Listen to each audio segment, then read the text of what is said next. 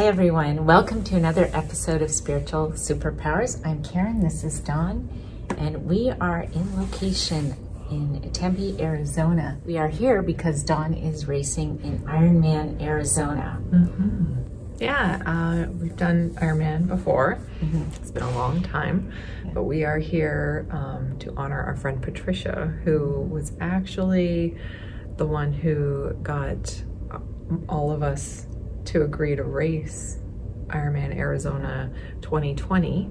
Um, of course, COVID hit and our borders were closed, but on a sadder note, Patricia was killed last summer.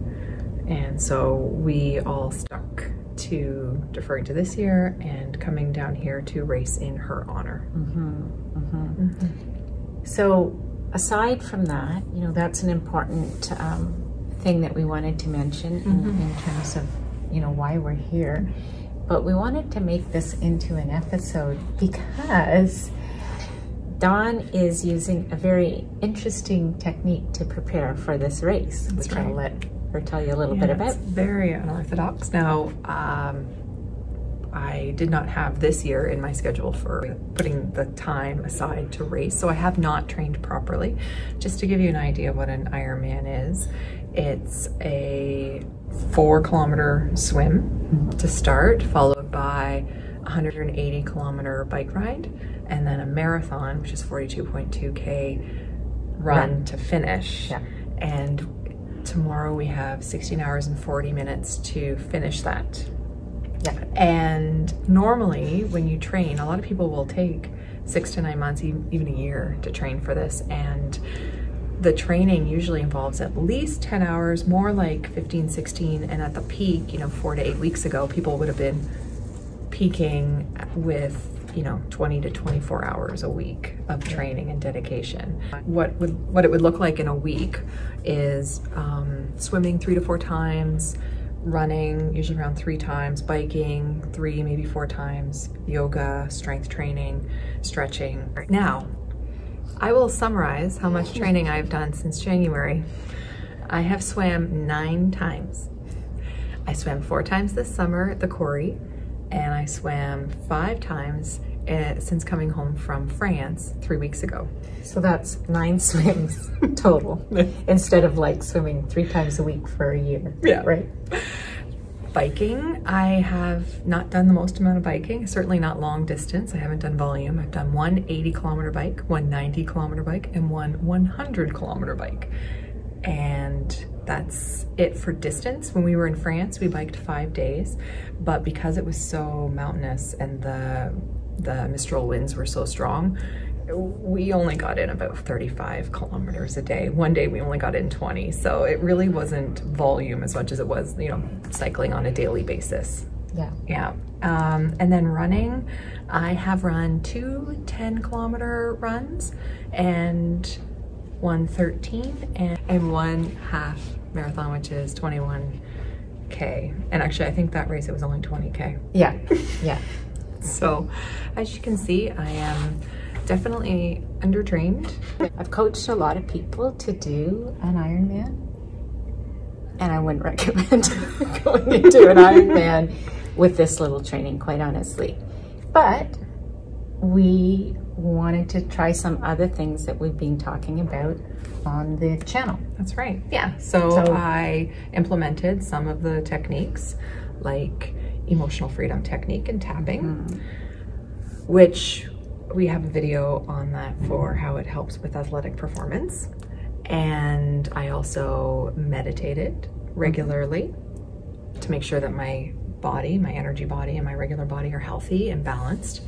And I also did a lot of visualization, manifesting, where I visualized myself in the race from start to finish. Yeah, so I used those techniques. And I think what we've also seen in the science, especially with some Joe Dispenza work that we've done is, you know, there's uh, studies where people do bicep curls, right, mm -hmm. for, I don't know, eight weeks. And then there's another group that just visualized doing the bicep curls. And the ones that just visualized it still had a 13% increase in strength. Mm -hmm. So you're using a lot of this kind of um, research and we're going to see if it works. So between the, the visualization, the meditation, mm-hmm. the manifestation, the tapping, mm-hmm. and, and so on, we're hoping that Dawn can make it through. Yeah. So again, I don't recommend people do this, but I think I think what we'll find out of this is that it's a valuable tool to add into you know regular training. Absolutely. Yeah. And and life in general. Yeah. Yeah. Mm-hmm. So We're putting you know what we're telling our viewers into practice. mhm, yeah, we're putting it to the test. Yeah. And we'll see how it turns out. I know that I feel mentally ready. Yeah. I know physically I'm not, but We'll, we'll, see, how what matters. Yeah. All right. Okay. So we'll check back in with you tomorrow. Yep.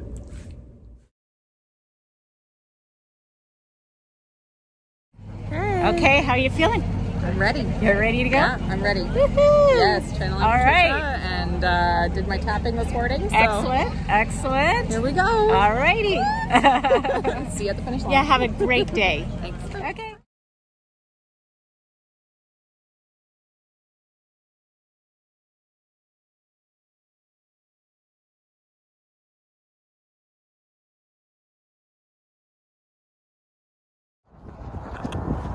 Are amazing. I'm so proud of you. How do you feel?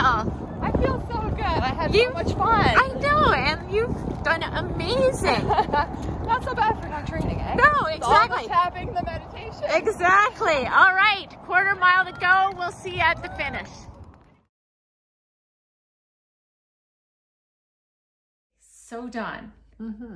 You finished the Ironman. Finished Ironman. Yeah. So I wanted to ask you a few questions about that because you did an amazing job out there. Thank you. Yeah. and, you know, based on the lack of training, I kind of was really worried about you going into the race. you didn't say that earlier, though. No. so thank you for not saying that. I probably would have gotten my head. Yeah. right? But you rocked it. And so let's talk about how you did that. Okay. Well, I on the shoreline is usually when I think most people really panic, and that's the only time that I, I'm not someone who's really a worrier. Yeah. Um, I don't get overly stressed out very easily. So, but on the, on the beach, I'm usually thinking to myself, why do I do this, to this, myself? yes. Why do I put Yeah. myself through this? Common. And so I just, I, I was tapping from before it even happened. Right. You know, so I was tapping, tapping, tapping. so tapping would get rid of the jitters so that you could um, be your best version of you, you know, as Brad Yates Yes. talked about. That still doesn't physically get you through the race. And I know your race preparation wasn't even close to what you needed to do to physically get through the race. Plus, with your autoimmune diseases that you have, you just have trouble sometimes with physical exercise, right? Uh, So- so what, like a week and a half earlier, I'd gone for a 2.6 kilometer run and I was in so much pain. And that was Right. just a, two and a half K run And this was 42 kilometers, after an 180 After- bike. 180k bike, and That the 4K swim. Yeah. we both went to see a traditional Chinese medicine master prior to the race. Mhm. Yeah, and he does medical qigong. I don't know what he did, honestly. Yeah. But do you think that was a That I mean, I I've been very lucky. I haven't. He said, you know, okay, you're cured, and I have been putting it to the test. I've eaten bread, and I have not been, you know, curled up in a ball in the corner, Right. in pain. Um, the bike was absolutely horrendously bumpy, which with my um, vibrational hereditary angioedema urticaria, that should have put me into anaphylactic shock. Yeah, and it didn't. Um, the temperature of the water was fairly cold Mhm. um, for swimming in, for, especially for that length of time, and I should have gotten a Raynaud's attack, and I didn't. Didn't. So maybe he did. Maybe he did, yeah. And but mentally, because you know, I think Ironman is physical, but also just such a mental challenge. What did you do there? I tried to stay in a meditative state the whole time. Okay. Yeah. Uh, in fact, normally when I'm racing, I'm very cheerleader type. Like I'm yelling, crazy, you know, like, "Hey, keep going, yeah, yeah," you know, like, uh, or even just walking with people or talking with them, trying to, um, you know, you know, just kind of bond with everyone. You kind of do it together, right? I didn't do that this time. I kind of kept to myself and I just stayed very focused and just really, I remembered all the visualization that I had been doing prep wise, but staying in a very meditative state. And also maybe not giving your energy out quite so yeah, much. I really focused on, yeah, my energy, my energy field. Mhm. And I think that that had a big part of it, uh, in Yeah. it. Yeah. And I think meditating and staying in that state really helped me to not feel any pain or anything as well. Hmm. Um, so I, it, it worked. Yeah. And then there was a little surprise along the way. Yeah. Tell me how. Tell me about that. that had an effect too. Uh, yeah, my my husband um, unfortunately lost his best friend um, to cancer and had the funeral the day before the the race, so he couldn't come with me and he couldn't race either because he chose and he did he made the right decision, of course, going um, to uh, to be a part of that. But then while I was in the run portion, Karen's husband Barry, I thought was just kind of like filming me and, and, and asking me some questions about the race. And all of a sudden he's like, hey, by the way, we have a surprise. And I guess maybe We'll show the video. yeah. How you feeling? Great. What an incredible bike! Your Really? swimming bike was spectacular. It was? It was so crazy windy out there. It was. I don't have a timer or anything, so I have no idea what I'm you had doing. a sub eight hour bike. You had a 123. We got something for you right here.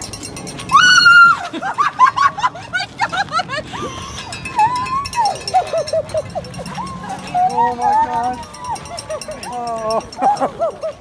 So as you could see, I was very surprised. Yeah. And you know, on the run, I had kind of gone into it visualizing just kind of meeting up with a certain group of of women on our team that uh, might be finishing a little later and kind of sticking together and, and working together to get over that finish line.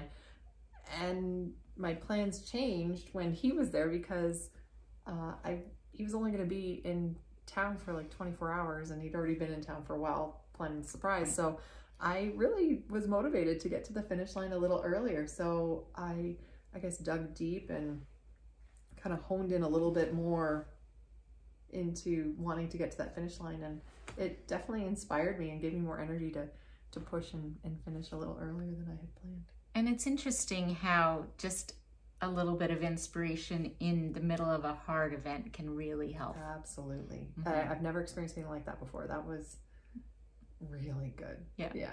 Yeah. Yeah. And it's so nice having everyone there cheering you on. Like all your friends Mhm. are there and that is so important and so nice. And even the the um the stations with everyone cheering really helps the music and everything. But yeah, that was a whole other level. Yeah. Yeah. Yeah. It was like having uh, a second surge for sure. Right. hmm Right. Well, congratulations. Thank you. I am so proud of you and um, amazed that you pulled that off. Um, but it does go to show you that the techniques that we talk about, you know, do have some effect, you know? Yeah, I, I believed in them before because the science is there, but after experiencing it firsthand, yeah, it Yeah. it really does work. Yeah. And I would be really curious to talk to more other, like other people about that and kind of hear how people feel about it because it almost is easier, I think, putting the physical time into training Mm-hmm. than actually even just setting aside 15 minutes a day to mentally meditate for it. Mentally preparing is actually easier in the grand scheme of things. It's more efficient. It's actually, it to me, it takes less effort.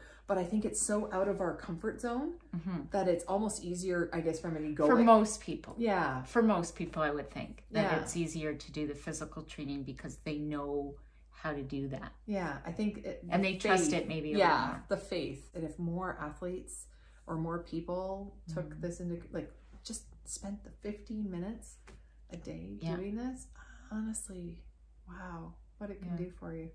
Yeah. So I'm a, I'm more of a believer now. Yeah, great. Okay, well, I hope you enjoyed this video. And um, if you liked it, please give us a like and subscribe to our channel if you haven't done so already. And don't forget to hit that notification bell so you don't miss another episode. And again, congratulations. And thank you for coming and cheering me on Yeah, and it was fun. supporting me and everyone else there. It was just, it's always such a wonderful, wonderful experience. So thank you. Thank you. And we will see you all again. Bye.